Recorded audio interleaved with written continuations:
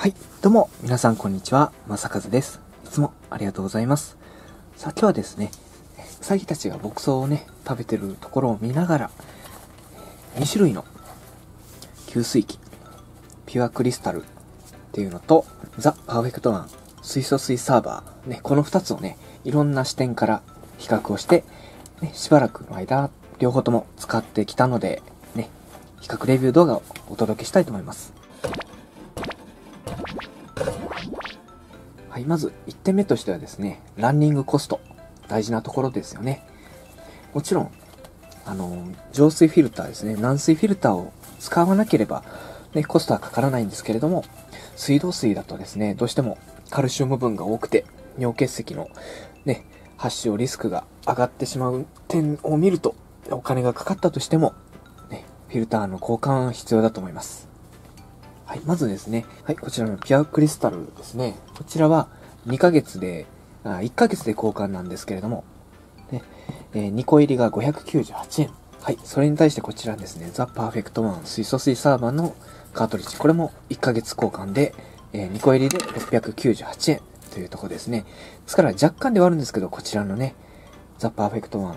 水素水サーバーの方が、えー、2ヶ月で100円だから、1ヶ月あたり50円ですね、コストは上がります。ね。で、どっちがいいのかについてですね、そのあたりはね、後ほどお話をしようと思います。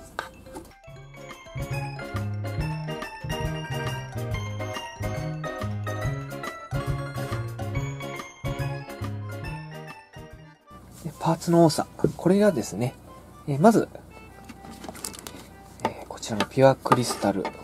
ゼックスさんの給水器。1、2、3、4、5、軟水フィルターですね。1、あ、違う。1、2、3、4、5、6、7、8、8個。8個も部品があるんですね。それに対して、ザ・パーフェクトワン水素水サーバーに関しては、1、2、3、4、5、そして最後に6、1、2、3、4、5、6、7、8。間違えました。すいません。これですね。9個。9個も部品があります。そしてこっちだと、1、2、3、4、5、6。で小さい部品、大きい部品も全部ね、一つとカウントして6、6対9。ですから、組み立てとかですね、お手入れの時も、じゃ、あの、断然、ピュアクリスタルよりも、ザ・パーフェクトワンの方が、ね、お手入れは簡単です。はい。で、次にですね、えー、強度、頑丈さについてなんですけれども、これはね、あくまでこう、うーん、本当にタッチの差ではあるんですけれども、持った感じですね。えー、ピュアクリスタルの方が頑丈なような気がしますね。一つ一つの部品の、こう、強度というかですね、まあ、樹脂の厚みが若干厚いかな、たくさん使われてるかな、という風な気がします。で、現にですね、えー、こちらですね、確かメーカーさんの数字がですね、500ml までのペットボトルで使ってくださいと。で、ピアクリスタルの方が 600ml までということでですね。まあ、過去ですね、過去と言ってももう、この YouTube チャンネル立ち上げ前にですね、これ一回使ってました。その時。で、その時、その注意書きを見ずにですね、こうこぼれたんですけど、それはね、1リットル以上のものをね、使ってたのでこぼれました。ですのでね、そのよう、こう、注意書きを守ればですね、こっちの方が多頭飼育、こういう風に複数でね、同時に同じケージで飼ってる、ね、この夫婦みたいに仲良く暮らしてくれる子たちであればね、こっちのピアクリスタの方がですね、えー、水を1日で飲み切ってくれる、ちょうどいいぐらいの量かなと思います。はい、そしてね、お皿の形。今ちょっと、これを久々に取り出したのでね、若干汚れているんですけれども、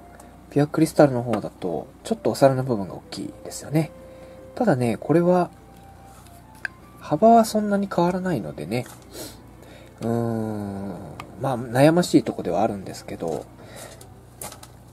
ネザーランドだったらこっちに断然ね、いいと思います。まあ、こっちでも問題ないんですけど、というのがですね、まあ、口が前に飛び出てる、もっとね、こう長細い顔のウサギだったら、こっちの方ね、お皿の部分が前に飛び出てる方が飲みやすいかもしれないですね。はい、そして次がですね、まあ、今まではね、まあ、ランニングコスト、強度、で、あとは、パーツの多さ、イコール、まあ、手入れのしやすさ、飼い主目線でお話をしてきたんですけれども、まあ、これ、これはうさぎ目線ですね。お皿はうさぎ目線。で、もう一つうさぎ目線。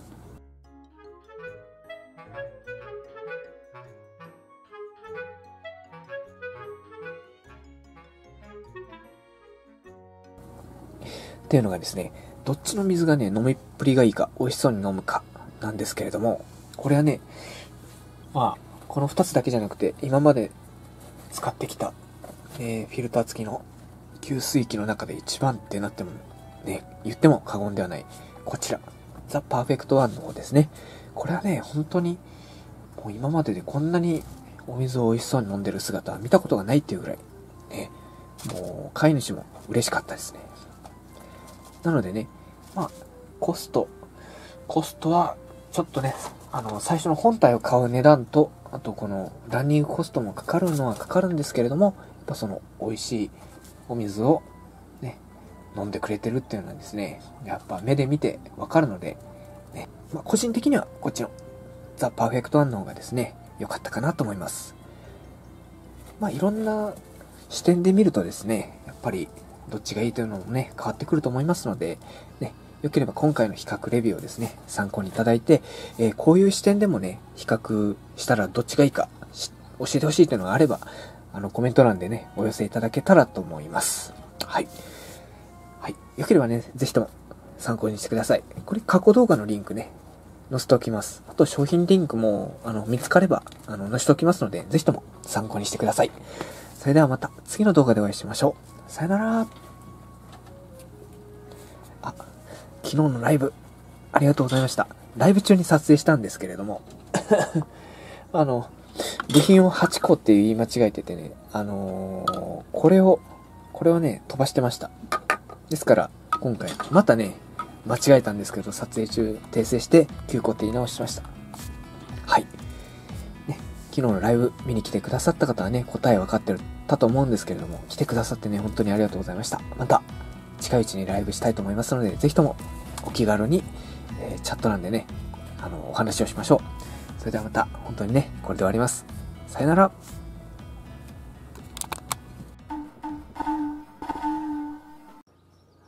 最後までご視聴ありがとうございました。よければチャンネル登録、高評価よろしくお願いします。他にもたくさん動画を出してます。そして他のチャンネルもですねいくつかやってますのでよければ概要欄のリンクからご覧いただけたらと思います。こちらにね画面に出ている動画もチャンネルもおすすめですので是非チェックしてみてください。それではまた次の動画でお会いしましょう。バイバーイ。